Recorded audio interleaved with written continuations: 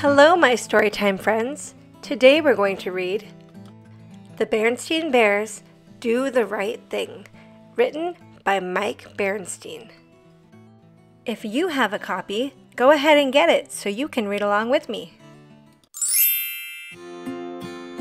Beartown Park was a popular place and a happy place. It was always full of cubs playing on seesaws and slides, batting a ball around, or just hanging out with their friends. Sister and Brother Bear were headed for the park one lazy Saturday afternoon. They had their baseball bats and gloves, and Sister had a backpack full of her favorite Berry Buddy dolls. She collected them and hoped her friends would be in the park with their dolls too. At the park, Sister spotted a group of Berry Buddy collectors and made a beeline for them. Hey, Sister, someone called from the baseball field. It was Cousin Fred. Come join our game. We need a shortstop. Yes, agreed Brother. We need you on our team.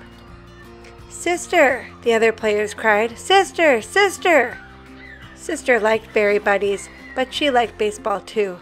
Besides, she was flattered that everyone wanted her to play. She made up her mind. Baseball it was. Sister played a fine game that afternoon. She was a talented shortstop and made some terrific plays. When the game was over, though, her mind turned to thoughts of Berry Buddies. She looked around for her collector friends, but they were gone. She could see them in the distance heading for home. Disappointed, Sister turned back to the ball field, but she noticed something lying under a bush.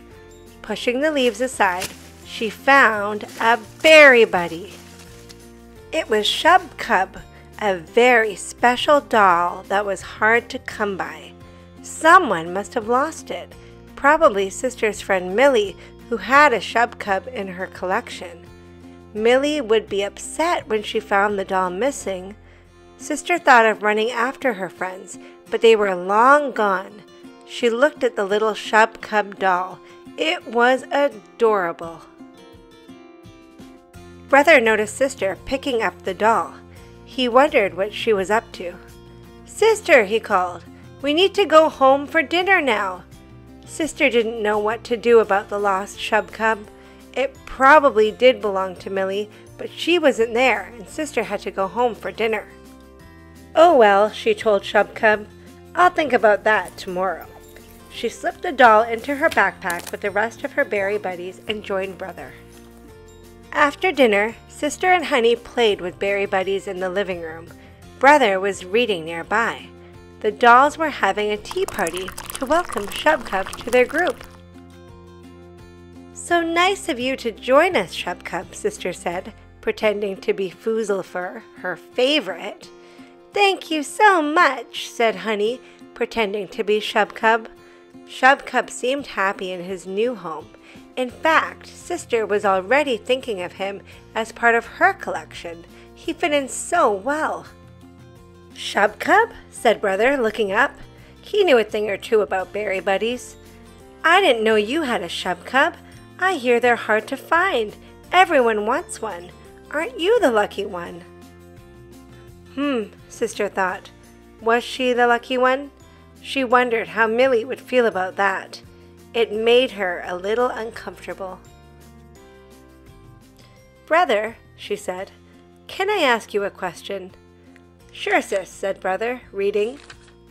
Suppose someone found something in the park that was very special, said Sister. Would it be okay to keep it? Brother looked up.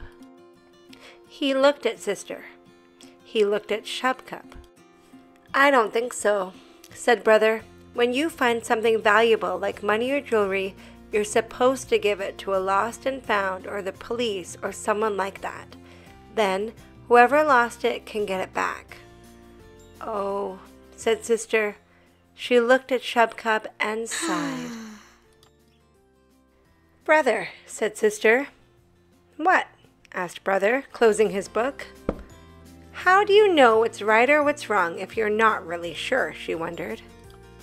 You've got to let your conscience be your guide, said Brother. My conscience? asked Sister. She had heard about conscience, but wasn't sure what it was. Your conscience is like a small voice inside your head that tells you to do the right thing, Brother explained. The idea of a small voice inside her head seemed weird to Sister, and she looked worried. Just pretend you've got a little angel sitting on your shoulder, suggested Brother. Then, when you're not sure what to do, you can ask the angel, and the angel will whisper the answer in your ear. Sister liked that idea. She imagined an angel in a long yellow nightie sitting on her shoulder. She thought of a question. What do you think I should do? she asked the angel quietly in her mind. You must do the right thing, the angel answered. Return Shubcub to his rightful owner. Okay, said Sister, relieved. I will and I'll always let my conscience be my guide. The next day, Sister returned to the park where she found her friends with their berry buddies. Did anyone lose a shub cub? she asked, taking it out of her backpack. My shub cub, said Millie. I've been looking for him everywhere. I was so worried. She took the doll and hugged it happily. Then Millie gave Sister a big hug too. Thank you, Sister, she cried. It was so nice of you to bring him back. That made Sister feel good. She had been worried she would be sad about giving up Shubcub, but she wasn't sad at all. She was happy. Letting your conscience be your guide turned out to be a pretty good deal. Thanks, Sister said to her imaginary angel on her shoulder. No, said Millie, overhearing her. Thank you. You're welcome, said Sister with a big smile, and the angel on her shoulder smiled back with pride.